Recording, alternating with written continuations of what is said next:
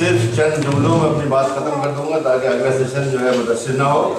आ, ये बहुत ही अच्छा सेशन था बहुत ही उमदा टॉपिक था। लेकिन अफसोस है कि वक्त की कमी की वजह से हर बात नहीं आ सकी। उम्मीद है कि जो पेपर छपेंगे उनमें वो बातें आ जाएँगी।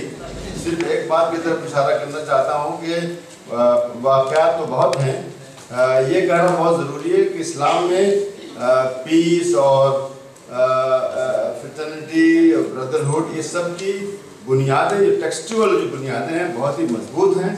कुरान शरीफ में, हदीस में फ़क़ा में बहुत ही मज़बूत बुनियादें हैं। इसलिए अगर कोई मुस्लिम सोसाइटी के भी गुमराह भी होती है तो उसको वापस आने का और इसलाह करने का बहुत मौका होता है।